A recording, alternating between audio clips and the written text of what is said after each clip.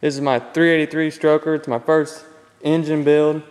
Got a Dart SHP block, scat forged crank, some all scat internals, scat rods, Icon forged pistons, custom comp billet cam.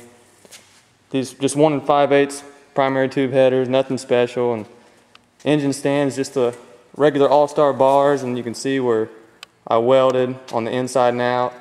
Kind of a redneck stand, but just set up where it won't roll over. And then just an old radiator here and we don't have it really warmed up, you know, so I don't have a fan on the radiators. I'm not worried about overheating it or anything, but we'll fire it up for you and let it idle here for a sec and see how it goes. You can go ahead and hook up the fuel pump. Then just, yeah, you know how to touch it and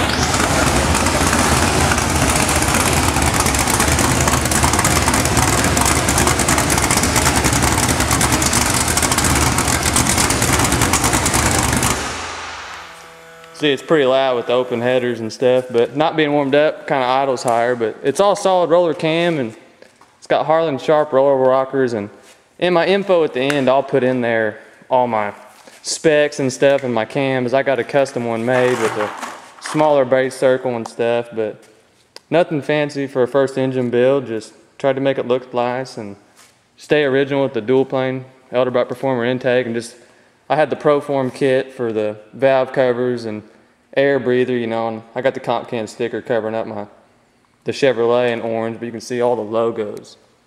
They all match and pretty good looking engine and stuff. Got to get it in a find a car to put it in or something else to test it out and see what it'll push out. It ought to with the AFR heads and the 210cc runner heads and everything.